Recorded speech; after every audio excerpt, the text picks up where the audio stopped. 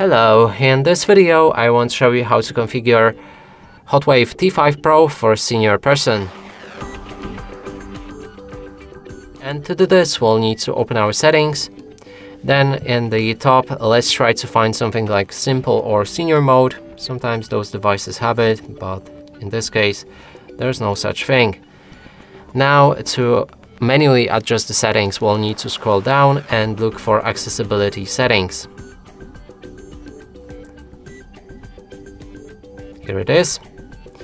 Then go for text and the display. Inside we can change our font size and I would suggest to make it as big as possible. Then go back.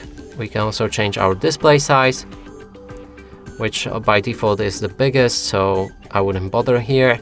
Then we have the bold text that makes all of the font a bit thicker and we also have the remove animations which reduces uh, the motion sickness while using this device and high contrast text which makes some of the text on when you read something a bit more visible.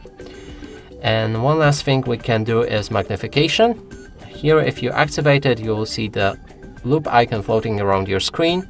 You can click on it anytime to make your screen go out with our orange outlines and when you click anywhere on your screen you'll be able to zoom in. To leave the zoom click on the loop icon again and it should disable it.